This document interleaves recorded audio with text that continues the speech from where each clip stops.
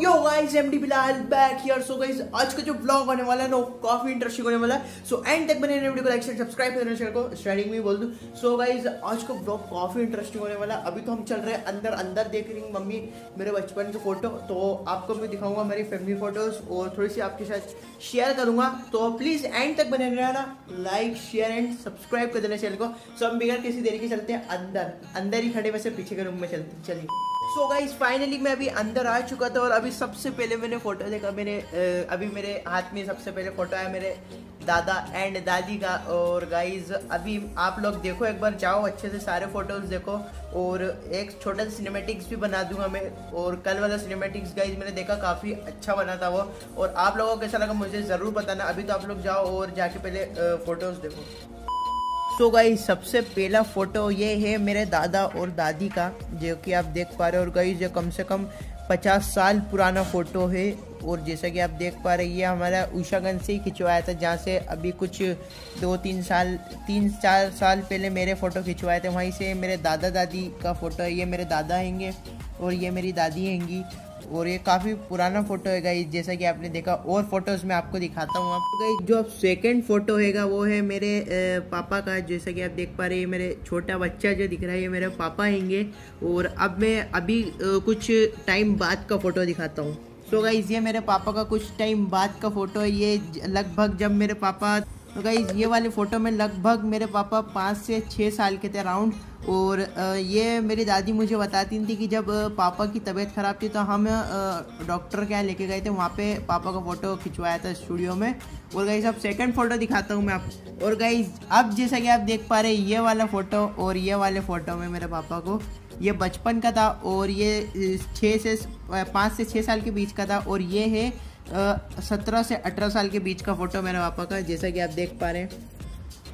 और अब और दूसरा दिखा तो गाइज़ अब एक दूसरा फ़ोटो ये रहा, जैसा कि आप देख पा रहे हैं लाइन से, जैसा कि आपको मैं एक बार अच्छे से दिखाऊँ। ये जैसा कि देख पा रहे हैं आप। ये तीनों फ़ोटो देख सकते हैं आप, ये बचपन का है और ये थोड़ा अट्ठारह से उन्नीस साल का और ये बीस साल के थे जब मेरे पापा जब का है अभी और एक और हुई था तो गाइस जैसा कि आप देख पा रहे हैं एक और फ़ोटो मेरे पापा का इसमें थे मेरे पापा अराउंड चौबीस से पच्चीस साल के।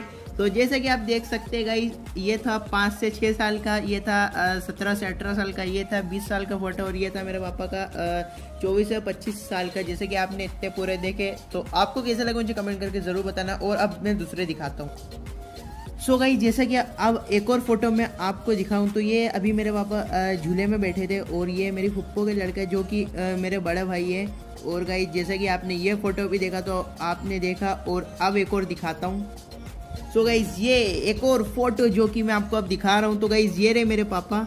और ये मेरे पापा की बाइक थी जो कि गाइज़ ये मोटोक्रॉस बाइक है और मैं आपको बता दूँ मेरे पापा चैम्पियन थे मोटोक्रॉस में और काफ़ी गाइज़ उसका भी अलग से मैं ब्लॉग बनाऊँगा बहुत ही जल्दी आ, कल या परसों आ जाएगा वो वाला ब्लॉग तो ये बाइक थी मेरे पापा की और ये मेरे पापा थे और ये सारे उनके फ्रेंड्स थे जो कि पूना गए थे रेस चलाने।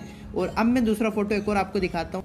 सो गाइस फाइनली जैसा कि अभी मैंने मेरे दादा दादी को मेरे दादा दादी को दिखाया था अब मेरे दादा दादी और मेरे पापा तो गाइज़ ये रहे मेरे दादा ये रही मेरी दादी और ये मेरे पापा थे गाइज़ और जैसे कि आप देख पा रहे हैं। और ये हमारा पुराना वाला घर था गाइज़ और वो पुराना घर भी मैं आपको उसकी भी ब्लॉग बना के बताऊँगा काफ़ी जल्दी। सो गाइज़ ये फ़ोटो आपने देखा। तो गाइज़ ये एक और फ़ोटो जो देख पा रहे हो लाल ला, रेड कलर की कॉमेंट पे ये भी मेरे पापा हैंगे गाइज़ और जैसे कि आपने देखा इन सारे फ़ोटोज़ में और ये वाले फ़ोटोज़ में। सो so गाइज़ ये वाला जो फ़ोटो हैगा गाइज़ ये है एपीटीसी ग्राउंड का, जो कि मेरे पापा पूरे फुल रेडी होकर फुल उसमें मोटो मोटोक्रॉस के ग्राउंड की तरफ़ बढ़ रहे थे मतलब जा रहे थे बाइक की तरफ़। और गाइज़ ये बता दूँ, ये वाली जो रेस थी, ये हमने ही करवाई थी एपीटीसी ग्राउंड में। जैसे कि आपको बता दूँ मैं एक बार।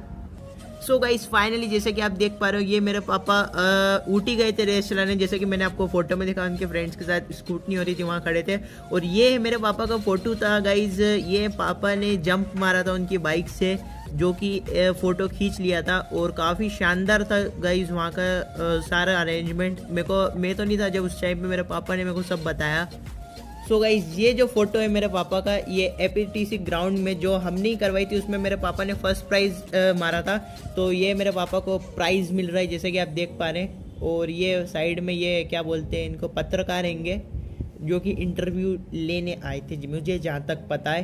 तो जैसे कि आपने देखा है फ़ोटो पूरा। सो so गाइज़ ये एक और फ़ोटो जैसा कि आप देख पा रहे हैं अच्छे से। तो काफ़ी अच्छा फ़ोटो गई इसमें फ़र्स्ट प्राइज़ मारा था। इसके पहले जो मैंने फ़ोटो दिखाया, वही था मतलब उसका सेकेंड फ़ोटो है ये। और गाइज़ मेरे पापा ने जितनी भी गाइज़ रेस चलाई है, उसमें अल्लाह के करम से गाइज़ सारे उनने पोजीशन फ़र्स्ट ही मारी है। और जैसा कि आपने देखा सो so गाइज़ जैसा कि आप देख पा रहे हैं, मेरे पापा की एमरल्ड हाई स्कूल में हुई थी रेस और उसमें भी गाइज़ फ़र्स्ट पोजीशन लगी थी, जैसा कि आप देख पा रहे हैं। तो काफ़ी शानदार था गाइज़ वो भी। जैसा कि आपने देखा पूरा गाइज़ फ़ोटो तो गाइज़ ये वाला जो फ़ोटो आपको दिख पा रहा है, मेरे पापा पार्टी करने गए थे जंगल में। तो जैसे कि आप देख पा रहे होंगे, पूरा शानदार काफ़ी शानदार व्यू आ रहा है पीछे का। और गाइज़ ये उस टाइम पे कैमरे से खींचा हुआ था। आज से ये कम से कम दस से दस साल पुराना है गाइज़ फ़ोटो मुझे जहाँ तक लग रहा है गाइज़ आराम से। उस टाइम पे गए, लोगों के पास कैमरा होना भी काफ़ी बड़ी बात थी और ये कैमरे से ही फ़ोटो खींचा था और कैमरा हमारे पास भी था गई उस टाइम पे और वो गाइज़ जो सबसे पहला मॉडल था कैमरा का वो भी आज हमारे पास रखा हुआ है। हाँ सो गाइज़ फाइनली अभी मैंने आपको इतने सारे फोटोग्राफ्स दिखा दिए, जैसा कि आप देख पा रहे हैं मेरे पूरे बेड पे बिछे हुए गाइज़ ये फोटोग्राफ्स तो कुछ भी नहीं, जो नेक्स्ट ब्लॉग आएगा ना, उसमें तो गाइज़ शानदार, जो सेकंड ब्लॉग आएगा ना, उसमें तो गाइज़ मज़ा ही आ जाएगा। काफ़ी शानदार होने वाला वो ब्लॉग भी सो चलिए।